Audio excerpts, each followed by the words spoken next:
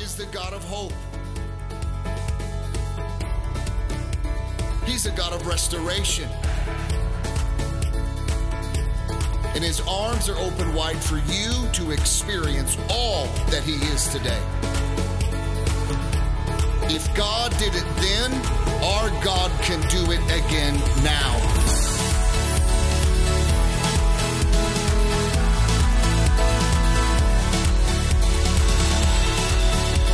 Think it's over, others may say it's over, but with our lives in God's hands, it is not over. The love of Jesus liberates our souls, steadies our feet, and gives us a hope that can never be taken away.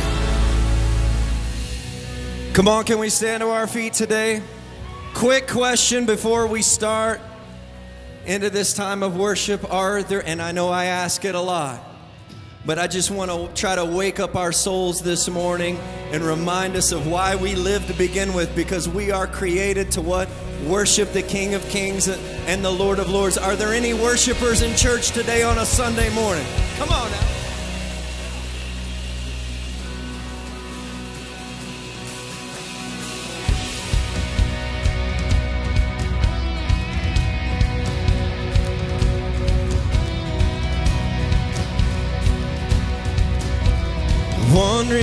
Into the night, wanting a place to hide this weary soul, this bag of bones. Oh, I try with all my might, but I just can't win the fight. I'm slowly drifting, a vagabond. And just when I ran out road, I met a man I didn't know, and he told me that I was not alone. Come on, it's a testimony, sing. He picked me up, he turned me around, and placed my feet on solid ground. I thank the Master, I thank the Savior, because he healed my heart, he changed my name,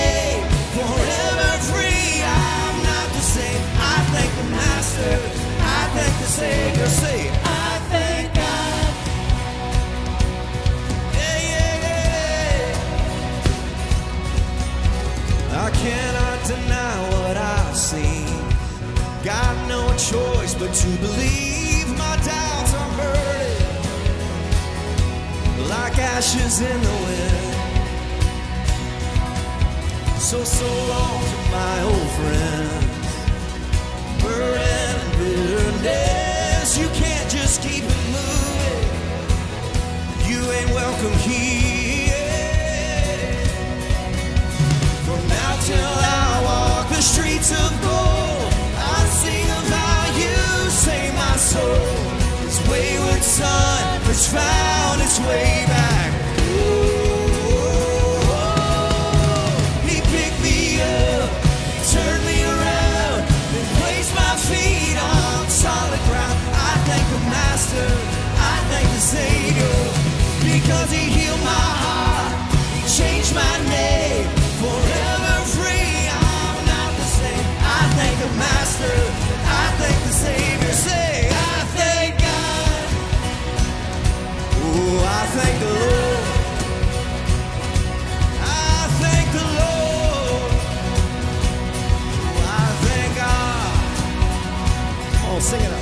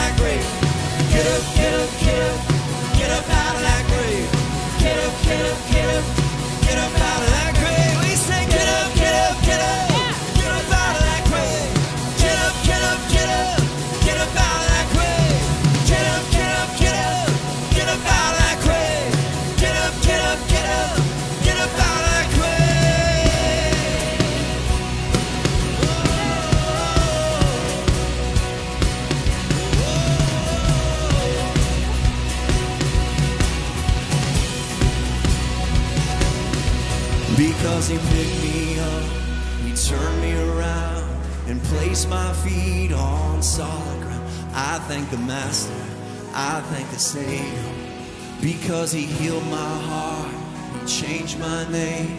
Forever free, I'm not the same. I thank the Master.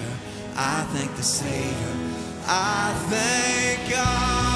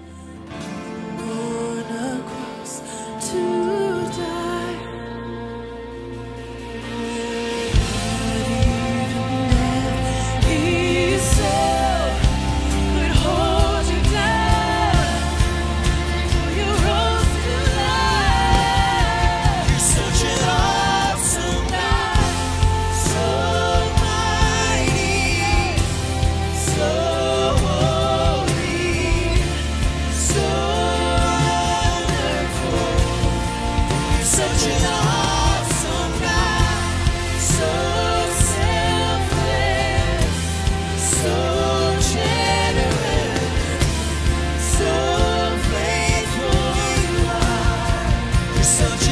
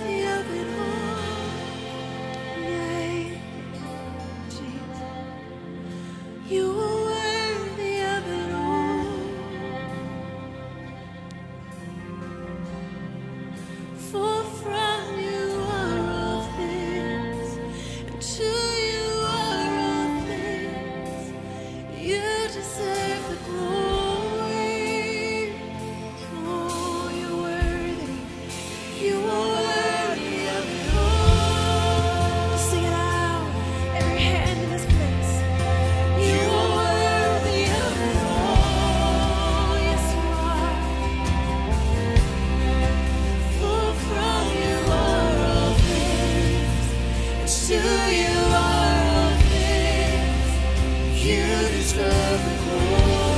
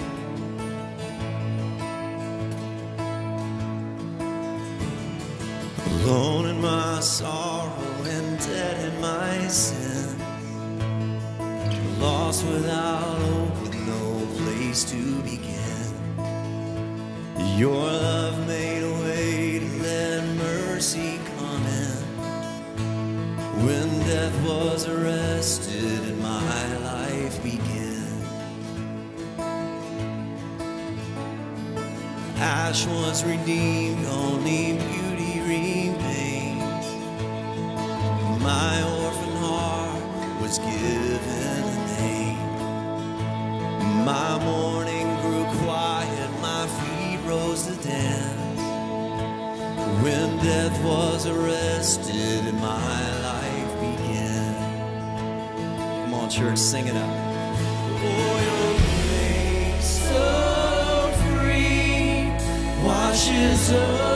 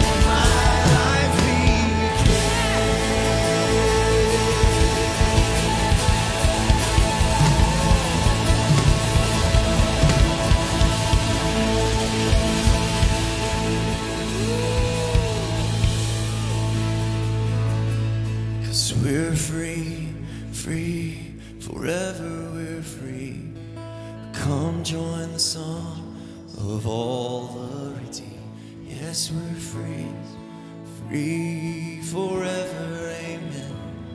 When death was arrested, my life began. Yes, we're free, free forever. We're free.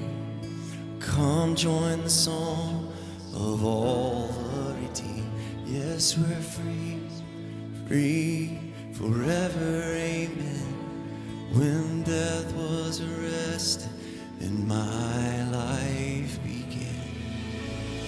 Come on, let the redeemed of the Lord lift up their praise to their Father.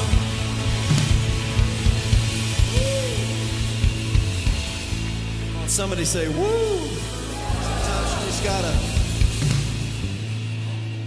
Man, are you happy you're in God's house on a Sunday morning? This is the best place you could be, I promise you.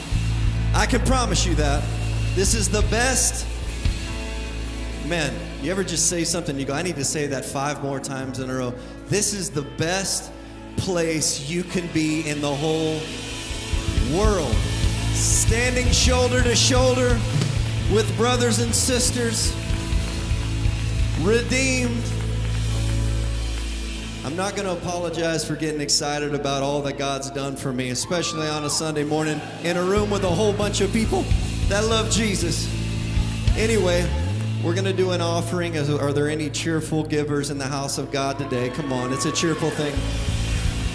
And um, we have a scripture from Luke we're going to read here in a moment. I, just want to tell you this real quick. This is a uh, this is a get to thing. Mm. We get to show up and worship the Lord. We get here, especially here in this country where we don't really. This is a this is a total right we have. This is a get to. We get to show up here, stand next to our brothers and sisters, and lift our hands and thank God for redeeming us, saving us, giving us a new life. Mm.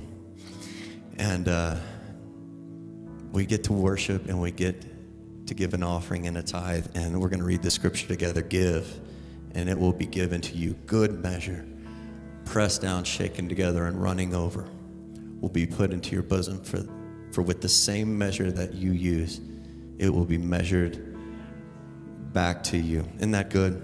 Can we just pray for our tithe and offering this morning? Lord, thank you so much for the opportunity, Lord, that we don't have to do this. This isn't a, a requirement, this is a get to thing. Lord, we just get to show up and give you all we have, Lord. When, when you take this tithe and offering, it becomes worship unto you, Lord. So thank you, Lord, for this opportunity. We give you all that we have today. And we're so grateful for an opportunity to sow into your kingdom. Lord, we pray that you would multiply just like you do all the time in our lives and around the world. You would multiply every dollar given today for your glory and your kingdom. In Jesus' name. Everybody said amen. If you're giving a tithe and offering in the room, there's receptacles in the back of the room. You can place that in there. If you're giving online, there's a link that will direct you on how to give to the Lord today. Can we sing this chorus a couple more times as a church? Oh, your grace so free it washes over me. You have made me new. Now life begins with you. Yeah. Oh, it's your endless love pouring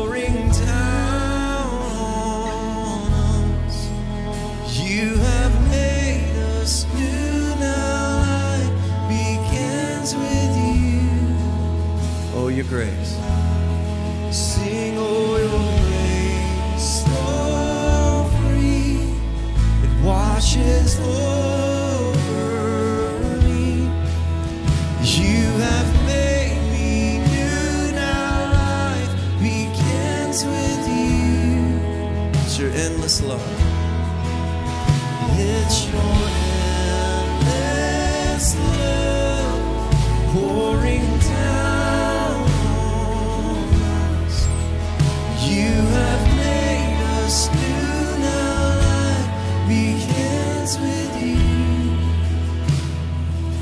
Thank you, Father.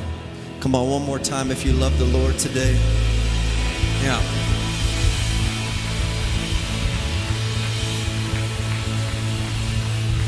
I'm originally from South Texas, which means we say stuff like today's only going to get gooder and gooder and gooder. Why don't you turn to somebody, smile real big, show a little teeth, welcome somebody to church today and say it's going to be a great day. You're in the best place you could be. And then you can have a seat and make yourself comfortable.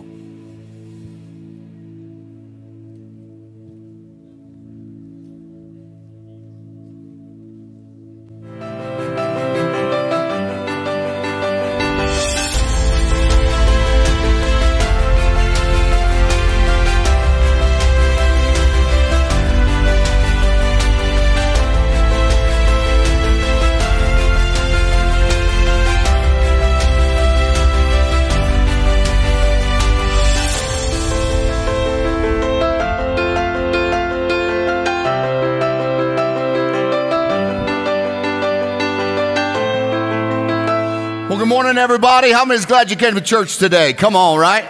It's a good day. Hey, can we welcome everyone joining us online, your church family online? Come on, give them a shout. We love you. Grateful for you. Yeah, you know, I know, I know today's going to get gooder and gooder, but how many just realize that Pastor Nathan just gets gooder and gooder and gooder, doesn't he? Come on. We're grateful for him. Well, guys, really excited about this series that we are embarking on. It's the year of the Bible. And we're going to be engaging our lives with the Word of God over the next year, starting in March, the beginning of March. All of us together are going to go on a journey. And I invite you to be, begin to prepare your heart. But before we get to March, I wanted to share with us some things that will position us to come to the Word of God in a fresh way to come to it in a mentally, emotionally, in a way to know that what we're engaging with is the truth of God's word. Amen? Come on, amen? And so I want to prepare us. I'm going to prepare you to receive everything that God has for you. And so today, I want to share with you something that's a really special to my heart as we embark on these areas of scripture beginning in March that are going to be real challenging. It's going to really do a work in our lives. And I don't know about you. Does anyone here have anything in your life you wish wasn't there? Raise your hand. Don't point at her. Don't do that. That was wrong. That's funny. And so, as we engage with the Word of God, it's, gonna, it's going to transform us.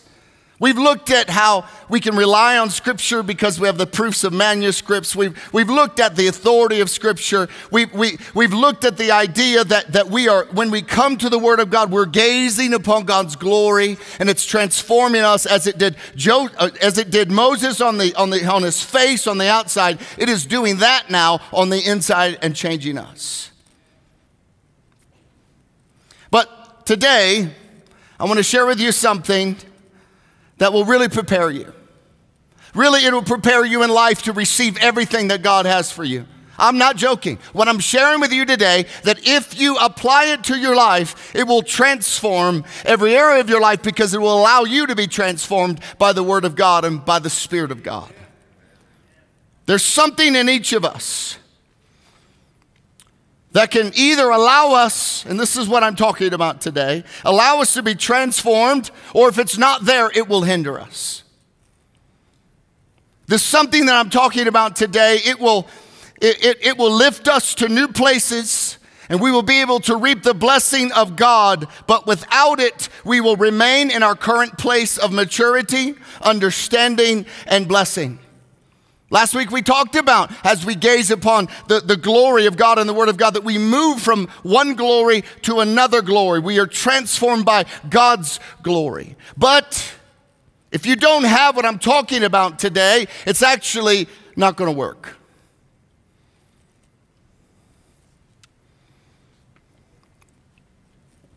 If we don't have what I believe God wants to deposit in us today, we will continue to be overwhelmed with the fears of the world, overwhelmed with, with our own life, and we're going to miss the peace of God that's available to us in the most difficult of circumstances. Without it, we will become filled with fear. With it in our relationship with God, we will flourish, and it will lead us to a flourishing relationship not only with God, but with the people around us in our church, in our families. This message today, it's, it's, uh, it's not for those who want their ears tickled. This is a bit of an elbow in the ribs. I'm just being honest with you. But this message today is for those who want to participate, want to cooperate with God's incredible plan for their lives. And I want to, I want to begin by looking at what Paul tells Timothy. Paul tells Timothy something that is, that's about his cooperation with God's plan. So, God has a plan for us. We know that, we see it in Scripture, but it's up to us. It's up to us. Everybody say it's up to us if we're going to cooperate with that plan or not. There's a part that we have in this journey with God, in our spiritual development. And so Paul tells Timothy to do something. Paul tells Timothy to, to, to, to cooperate with God. And this is, now listen, this is not something that is done for Timothy, but something that Paul tells Timothy, instructs Timothy to do. Yes, in the Christian life, a lot is done. It's that God's salvation is done. He's paid, He's made the way for us. It's done.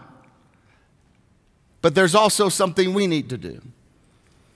And so Paul tells Timothy these words in 1 Timothy chapter 4, verse 7. Th- this is what he says to Timothy. He says this train yourself for godliness. Read that with me. Train yourself for godliness. Now, when you first look at this, you go, oh, wow, okay, all right. But I'm, we're going to lean in a little further with this. But I, I, want you to see it in, the, in another translation. The New King James says this exercise yourself towards godliness. The NIV says, train yourself to be godly. The NASB says, discipline yourself for the purpose of godliness. So in our lives, God makes us holy. He justifies us, but we then begin in a sanctification process. And our sanctification is directly connected to our cooperation with the God that we meet in His Word. But Paul is saying to Timothy, what God wants to do in your life, Timothy, your potential, Timothy, is going to take your cooperation with God. I mean, think back on your spiritual journey. Anytime that you, you think, man, that was a great season of growth, that was a great season of, of God moving in my life, there, there's, a, there's a common denominator. You were cooperating with God. And that cooperation is difficult at times, isn't it? I think why it's, well, I know why it's so difficult at times because cooperating with God in your own life means you gotta, here's, here's, here's, this, here's this word deny yourself. Yay.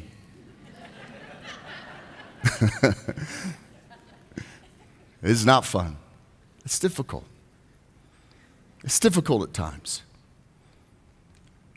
Many scholars believe when Paul is writing this to Timothy, the context that Timothy was fully aware of was the people of Ephesus, where Timothy was. They'd spent a great deal of time and money training athletes for different contests. They had different festivals that would, they'd have races and different competitions. And it was known, they were, they, they were um, eh, within the Greek world, they, they, it, the physical body was a big deal. The athleticism, their performance. But this is why Paul is using this context to say something to Timothy.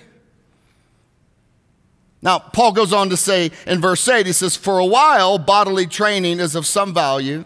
Godliness is of, is of value in every way. So, for a while, yeah, okay. It's good that you listen, you should eat well, you should exercise, you should take care of yourself. But it's just for a while. Because everybody knows this body's got an expiration date, don't we? We don't like to talk about it, but it's true. But look, godliness is of, is of value in every way as it holds promise. Now, look, for the present life and also for the life to come. So, this Greek word, though, that Paul is using to train yourself, exercise, discipline yourself, is that it's the same word that we use, the same where, where we get our word gymnasium from. So you can see what Paul's saying here to Timothy. Timothy, there is a process in which you're going to need to do, and you're going to need to participate, you're going to need to cooperate with God towards godliness. In the NASB, that word is called discipline. Everybody say discipline. So, but what is godliness? Who defines what godliness is? Because we have our own ideas. Okay, but godliness is as godliness is you're nice to people. Godliness, oh, no, okay, okay, wait, wait. But who are we looking at? Who's our standard? What does that look like? What is Paul telling Timothy to go after godliness? What is that? And the best way to define what it means to be godly would be for us to train, for us to, dis- to, to discipline ourselves. Now, hear me to be like Christ. Christ likeness. The word Christian means little Christ. So when we look to Jesus, we see what it means to be godly. When we come to the scriptures, we see what it means to be godly. And we find Jesus and we look to him and we, we see the character of God manifest in Jesus' life. Hebrews 1 3 says, He, Jesus, is the radiance of the glory of God and the exact imprint of his nature. So Jesus is our example.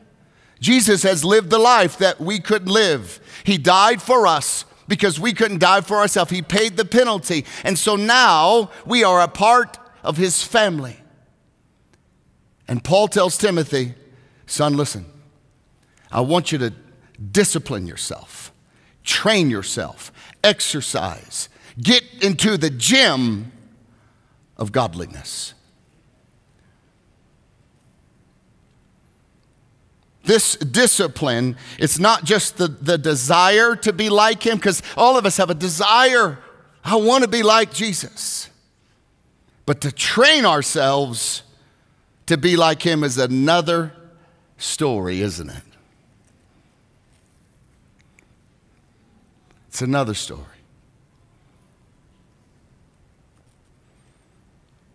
To train ourselves not to respond like Jason wants to, but as Christ would. To speak like Christ would, to live like Christ, to serve like Christ, to emulate the actions and the life of Christ. Just, uh, just not on Sundays, on Mondays. Discipline yourself. This is the purpose of why we are going to come to the Word of God this year. We're going to gaze upon the glory and radiance of Christ. And we are going to train ourselves to be like Him. And He's given us the, a spirit inside of us. He's delivered us. We're no longer bound to sin. We don't have to sin. We're not a slave to sin. We're a servant of Christ now. And so we're going to be disciplining, training, exercising to be like Jesus through the reading of his word.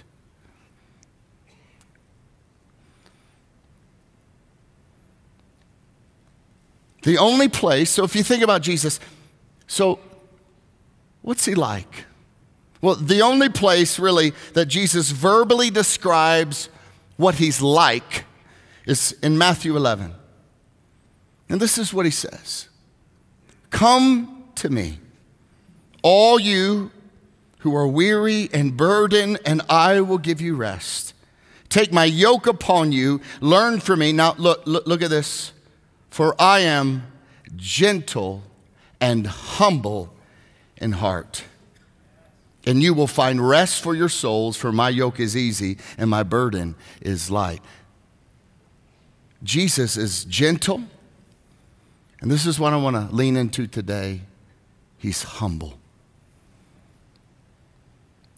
What would it look like to train yourself in humility? As you read the life of Jesus, his life demonstrates humility. Jesus declared that he is humble in heart. Now, this is very challenging because we see Jesus and, and we're, we're Americans and we're humans. It's interesting. Jesus didn't say, and I'm also powerful, though he is, or I'm influential, and he, he is.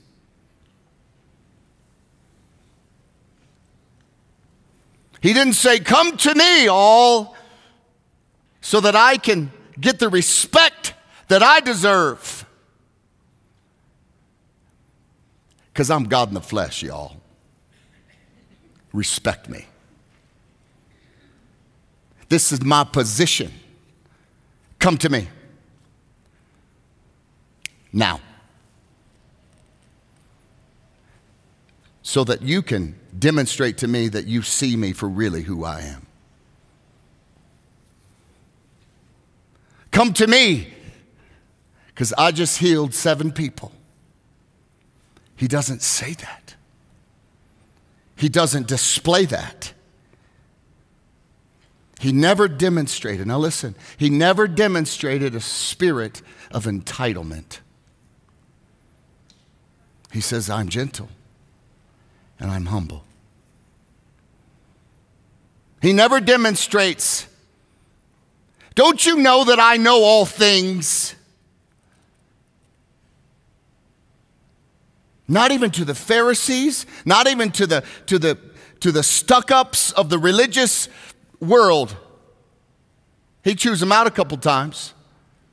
But it wasn't because he was demanding, you better bow, because one day you will, by golly.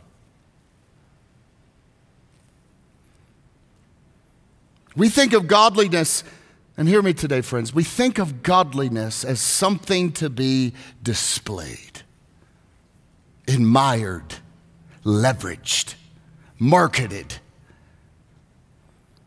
But when you see godliness and you replace that word with Christ likeness, then godliness is humility. Humility. Over the span of this year in the Bible, you will need a key to unlock God's best for your life. You will need a key that will unlock the Word of God, that will activate it in your life, that will begin to transform you and change you. And humility is the key that unlocks God's biblical potential in your life. The growth in your spiritual life in the Word of God, now listen, it's directly connected to the manner in which you come to the Word of God and the manner in which you allow the Word of God to speak to you. The reason why you come to the Word of God. And you will receive, friends, everything. Say everything. So think about this. Here's, here's the key. I got one key. Let's just say I got one key. This one key will unlock everything that God has for you in His Word, and it's humility.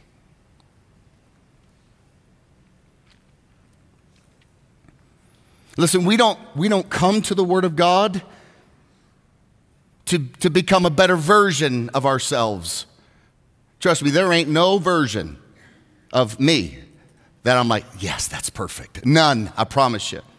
Ask my, ask my family. We come to the Word of God to meet with God in the pages of His words for one purpose to become like Jesus. To become like Jesus. I know a lot of I know a lot of people, a lot of Bible teachers, preachers, pastors who know a lot of scripture, but they're arrogant. They're self-righteous. They're mean. They're bitty. They're sharp. They speak of themselves often. Usually, the introduction to the Word of God is something about them. They often speak of the mysteries that they know of and the mysteries that other people do not know of. They often speak of the spiritual immaturity of others. They often speak as they've arrived at a little club that there are very few people who are in this club. They often speak of themselves. They're easily offended when they're not respected, when they're not heard when they speak, when the room doesn't stand to attention, when they walk in, they're offended. How can that be? How can teachers of the Word of God and people who read the Word of God and people who know the Word of God, how can they become arrogant? Well, Paul speaks to this. 1 Corinthians 8 1, he says that knowledge puffs up. So if a person becomes arrogant by the study of Scripture, then they are not studying the Scriptures to become like Christ, but only to increase in knowledge. That's a big deal. Meaning, when they come to the Word of God, they're not coming to it in humility, but for the purpose of using it for themselves selfishly to either make themselves look better, to make themselves sound better, make themselves look smarter or sound smarter. Those people, when they, when they come to the Word of God to seek knowledge, it puffs them up. But when you come to the Word of God to become like Christ, it humbles you and transforms your life. Now, this, this idea of using God to to advance our, our life in a non humble way, it is, it's not a new thing for American Christians. It's not a new thing for Christians. It's been around forever. It's, there's nothing new for us as followers of Jesus. I, I want to share with you a passage where we see this on display. It's, it's so interesting. But, friends, this is what we need to know this year when you come to the Word of God, it's not for information, it's for transformation. And transformation cannot take place unless you humble yourself and read it and then discipline yourself in doing it. Mark chapter 10, this great interaction. I'm sure You've, you've heard this before. But James and John, the sons of Zebedee, came to Jesus. Teacher, they said, we, listen, we want you to do for us whatever we ask.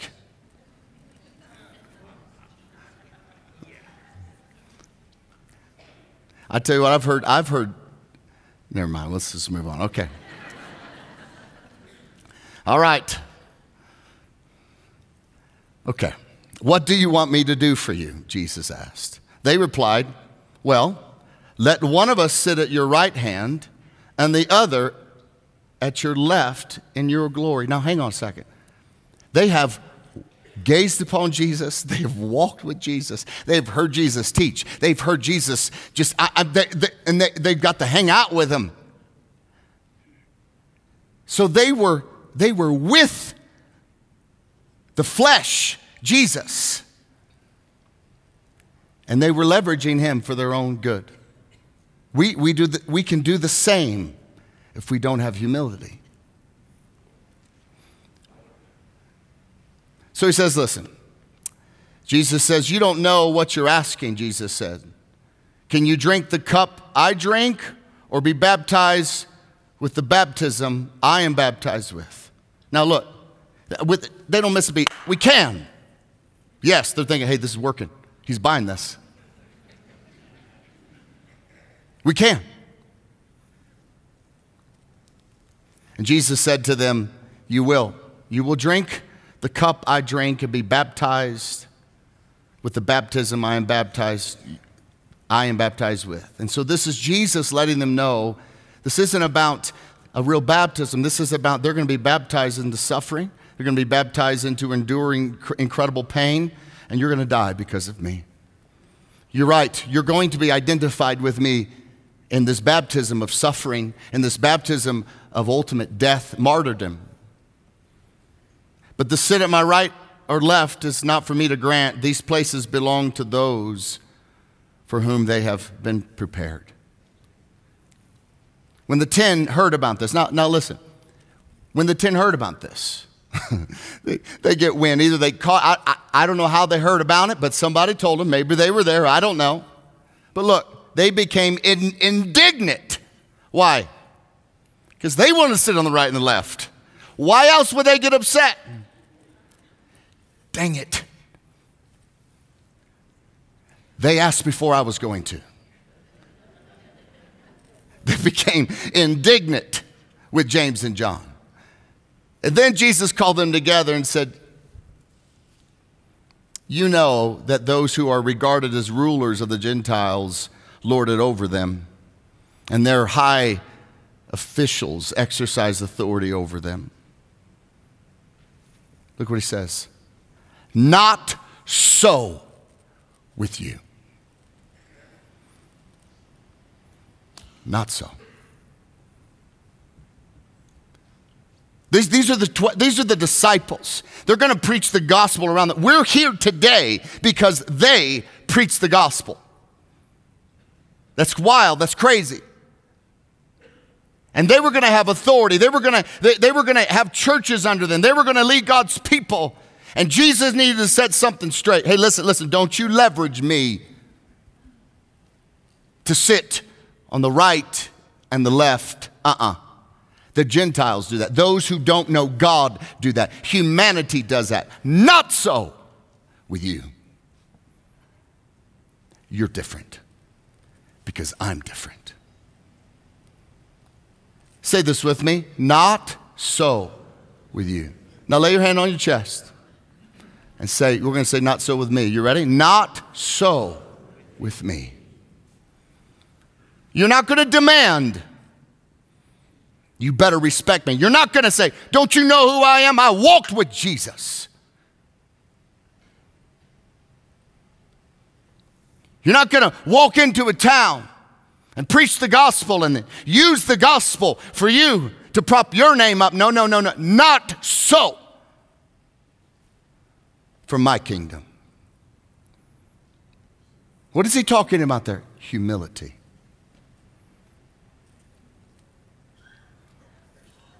And so he knows that their heart is, yes, but how do you become great? How do you become big? How do you get on the left and the right? How do you do this? Because that's what we want. Jesus says, well, listen, instead, whoever wants to become great among you must be your servant.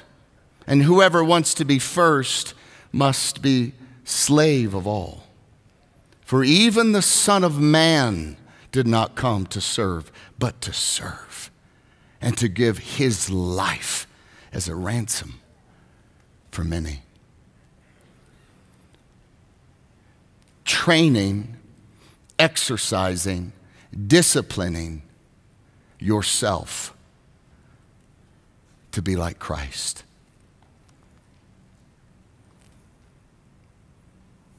Training for Christ's likeness is to allow the scriptures, as you come to them, to reveal the things you need to do. And humility helps you to do the things you don't want to do, or to not do the things that you are doing. Training for Christ's likeness is intentional, it's a discipline. It's a discipline. It's the, the dying to self, dying to the emotion that you feel, not acting on it, not saying it, not responding that way, not putting yourself, like Jesus said, Come to me, I'm the man. No, come to me, I am humble. It's not putting yourself in the center of your own universe where everybody's action is they better consider how that makes me feel, how that makes me want, how that makes me feel. Uh, no, no, no, no, no. Humble says, How do I make them feel?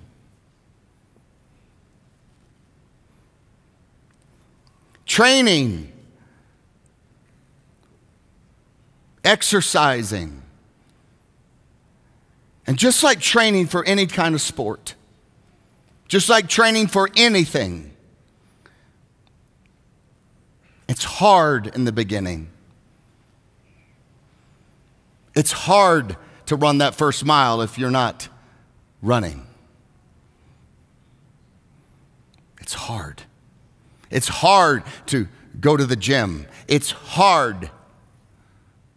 You don't, you don't wake up and go, Boy, I can't wait to hit the gym the first day you've ever gone. And then after you're there, you're like, This is the stupidest decision I've ever made in my life. but, you, but the next day, now the reality is there, the next day to do it again, oh, you do it anyway. You grit your teeth and you show up. And what, what was hard in the beginning as you discipline and train and exercise, as you keep showing up, as you keep doing it, it becomes easier. This is what Paul's talking about. If normally you would respond to someone, well, let me just tell you something. You go, mm, mm, mm, no, mm, mm. not going to do it. Train yourself. Come to the Word. Is that humble? Am I becoming like Christ? Is that Christ's likeness? And then you're like, oh God, I need your help. He goes, I'm here to, I'm here to help you. But I want you to exercise the muscle of denying yourself. It's the no muscle and the yes muscle. That we don't say no to attitudes. We don't say no to what's about to come out of our mouth. We don't say no to the aggravation in our spirit. And instead of seeing the person as they don't deserve this, Christ would not treat them this way, we just let it fly. And then we justify it. That's arrogant. That's pride. That's not humility. According to the Bible, what helps us grow spiritually is humility. What will help you receive everything that God has for you is humility. Now, look, look at what for, uh, Peter says. He says, Be clothed with humility. For God resists the proud, but gives grace to the humble. Therefore, humble yourself under the mighty hand of God that he may exalt you in due time. It doesn't say, pray that God would humble you. It says, humble yourself. That's the key to growth. As you know, friends, now, and just hear me, if you've been around church for any longer than, than, than two minutes, you're going to know that spiritual growth and maturity is not directly connected to the time that you've known God. It's not. There are some believers who've been walking with God for five years and are much more mature than someone who's walked with God for 50. Why? Humility. Humility. And humility causes your spiritual growth. The Word of God, as we come to it with humility, latches onto us. As we submit to it, begins to transform us. As we say, Oh, I don't want to do that, but I'm going to humble myself and do it. Godliness is not what is on display, it is, it's what's in the heart your attitude, your spirit, your desire to be seen or desire for Jesus to be seen, your desire to be respected or your desire to respect others, your desire to be honored, you better honor me, or your desire to give honor to others. Your desire to fight for, well, you don't know how gifted I am. If you really knew, by golly, I'd be preaching up there. Or, Lord, I just want to serve you wherever you give me the opportunity.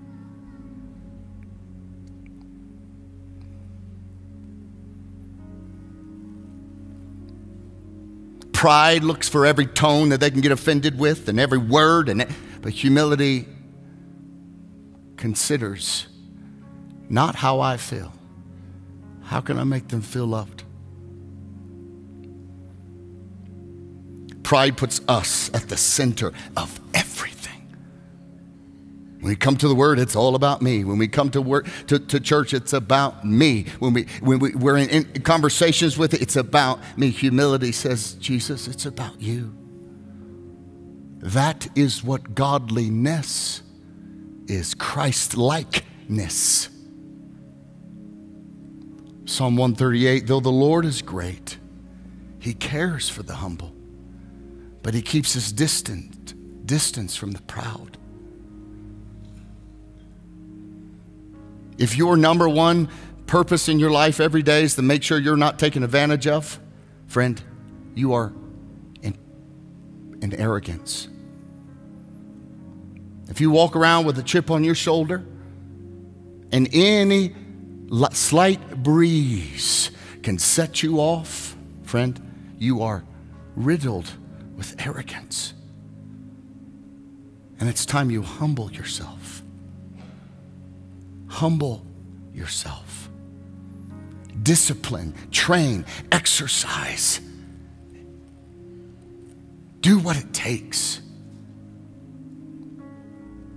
This, this idea, though the Lord is great, He cares for the humble, but He keeps His distance from the proud. This is, it's not a warning. Though you, it can be, you can, you can see that, but it's more of an invitation to be with God and feel the care of God. Because pride says, no, you better meet my needs. You better be, you better now, you meet my needs. Okay, you did. I love you now. Humility says, God, you meet my needs. You care for me. Why do some grow spiritually more than others? Because God is invited into every area of their life through the doorway of their discipline, their training in humility. Listen to the words of God in Isaiah 57 15. I live in the high and holy place with those whose spirits are contrite and humble. This is a big deal, friends. So, what does it mean to pursue, to exercise, to train, to discipline yourself in godliness? Paul talks about it again in Philippians 2. He says, You must have the same attitude that Christ Jesus had. Though he was God, wow, he did not think of equality with God as something to cling to. Instead, everybody say instead. He gave up his divine privileges. He gave up his privileges, privileges to be right, privileges to be the judge, privileges to be worshiped, privileges. He, he, he, he let them go. He took the humble position of a slave and was born as a human being. When he appeared in human form, he humbled himself in obedience to God and died a criminal's death on a cross. Therefore, therefore, therefore, he humbled himself. Therefore, God elevated him to the place of highest honor.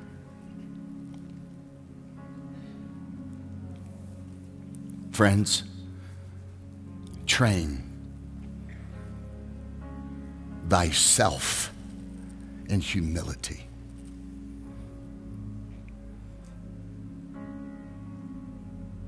Before you send that email, ask, is this because I feel something or is it because it's right? Before you shoot that word out of your mouth because your spouse annoys you, is this about me or is this about being Christ like? As you come to the word, you let it be what you say, Lord, I want to be like this. And you humble yourself. Discipline yourself in Christ like humility. When you feel your pride saying, defend yourself, deny it. When it says, when your pride says, don't apologize, whatever. They're doing this, they did this. Well, they apologize first, then I'll apologize. Apologize. When you feel your will stiffen to resist being wrong, humble yourself.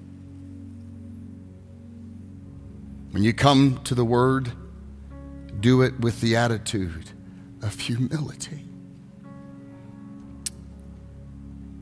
Lord, whatever your Word says, I want to do it. I recognize that I am proud and arrogant and strong willed. I recognize. I recognize it in my relationships. I recognize it that I put myself at the center of everybody's words and feelings and how they walk in rooms and how they speak and how they, it's just all about me. It's all about me. Everything's about me. But God, I'm sorry. I'm arrogant and I repent and I humble myself because I want everything you have for me.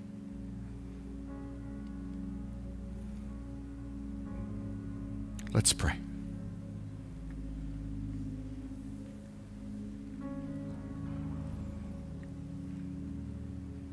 Lord, I surrender.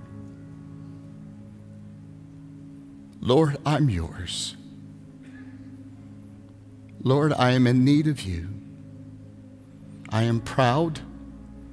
I am, I am self centered. And I humble myself and repent and confess.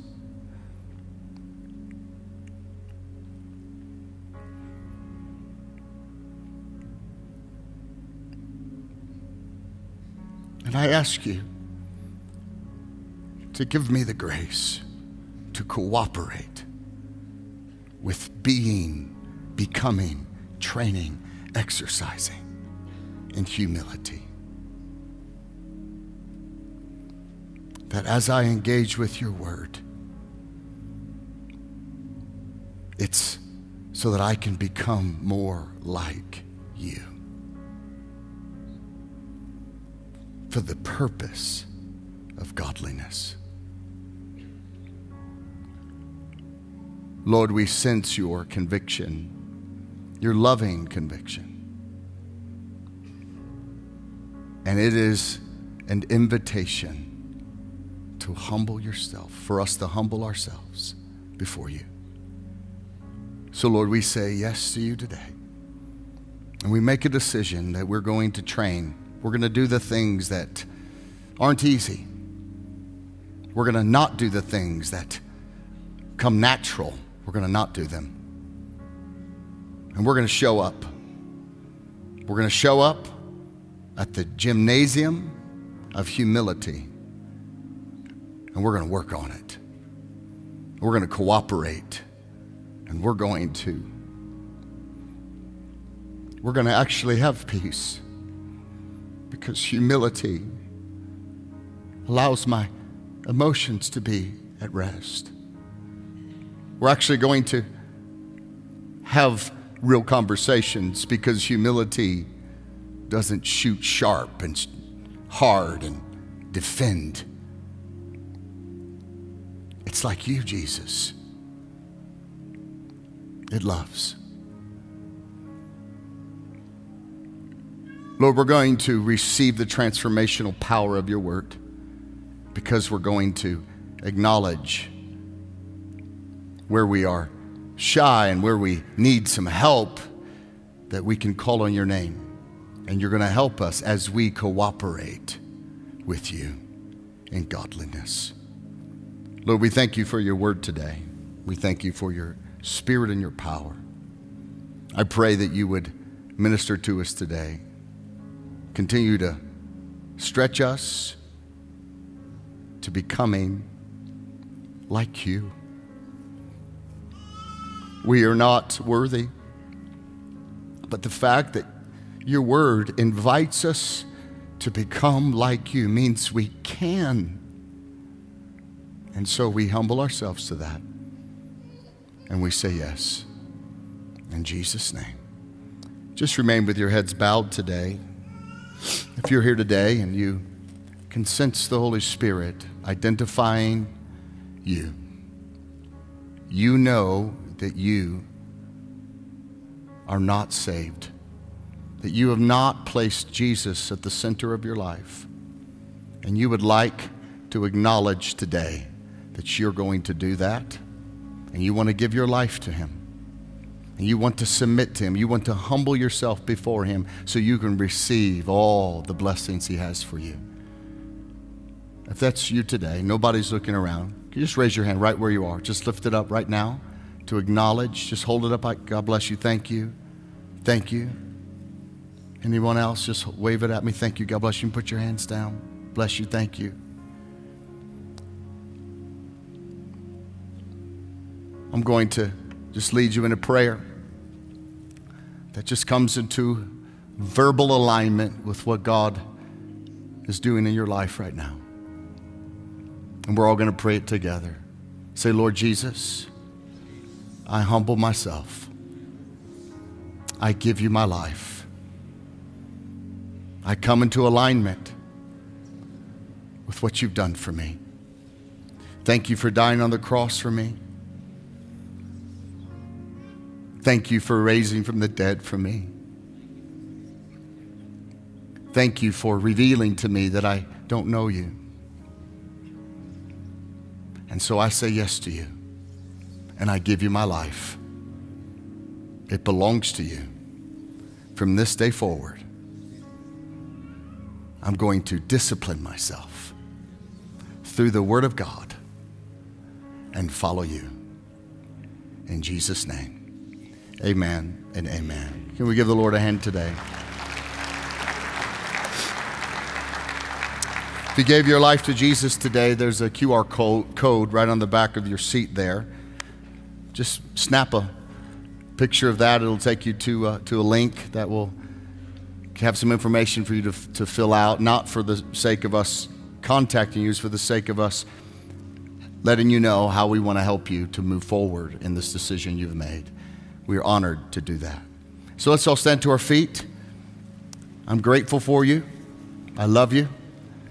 The greatest honor of my life is to be able to teach the Word of God to you. So many, so many of you.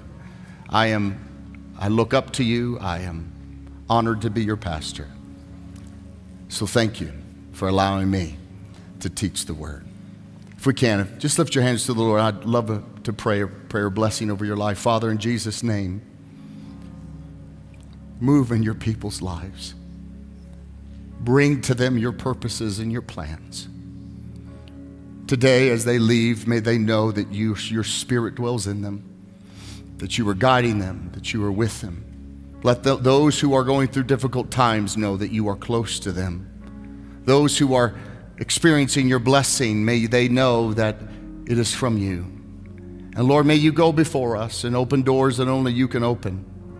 May you bring things into our pathway that are obviously from you.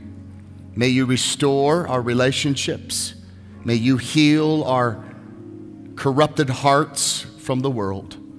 And may you bring peace to us on all fronts of our life. May we leave here knowing that you love us incredibly, incredibly much. In Jesus' name, amen and amen. God bless.